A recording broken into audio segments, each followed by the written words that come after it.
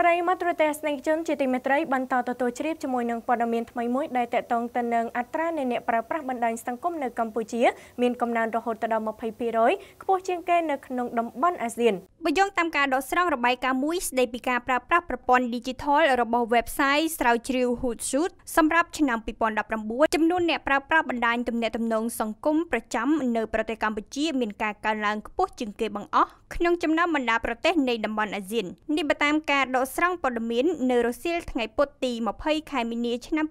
2019បើតាមរបាយការណ៍ខាងលើគិតត្រឹមដើមឆ្នាំ2018ដល់ដើមឆ្នាំ2019ចំនួនអ្នកប្រើប្រាស់បណ្ដាញសង្គមជាប្រចាំនៅកម្ពុជាមានការកើនឡើងជាង1លានអ្នកទៀតដែលស្មើនឹងកំណើនក្នុងអត្រា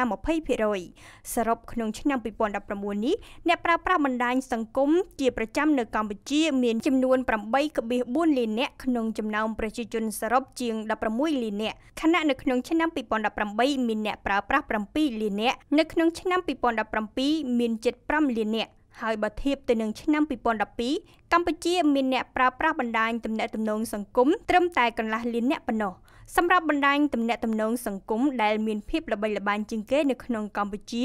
គឺ Facebook និង Instagram គួរជម្រាបថាបន្ទាប់ពីកម្ពុជាសម្រាប់ប្រទេសអាស៊ានដែលមានកំណើនអ្នកប្រើប្រាស់បណ្ដាញសង្គមជាប្រចាំខ្ពស់បន្ទាប់នោះគឺប្រទេសមីយ៉ាន់ម៉ាដែលមានអត្រាកំណើនអ្នកប្រើប្រាស់17%ដែលនៅដើមឆ្នាំនេះមានអ្នកប្រើប្រាស់បណ្ដាញសង្គមជាប្រចាំខ្ទង់21លាននាក់ក្នុងចំណោមប្រជាជនសរុបជាង54លាននាក់រីឯទូរលេខទី3វិញគឺឥណ្ឌូនេស៊ីដែលបច្ចុប្បន្នមានអ្នកប្រើប្រាស់បណ្ដាញសង្គមចំនួន150លាននាក់ស្មើនឹងកំណើនក្នុងអត្រា15%ក្នុងចំណោមចំនួនប្រជាជនសរុប 268លាននាក់ដោយឡែកបើយោងតាមរបាយការណ៍ដដែលចំនួនអ្នកប្រើប្រាស់បណ្ដាញសង្គមនៅក្នុងប្រទេសថៃគិតត្រឹមដើមឆ្នាំ2019នេះគឺពុំមានការប្រែប្រួលអ្វីឡើយគឺនៅតែ51លាននាក់ដដែលហើយប្រយណែក៏ដូចគ្នាគឺត្រឹម410,000នាក់ក្នុងចំណោមប្រជាជនជាង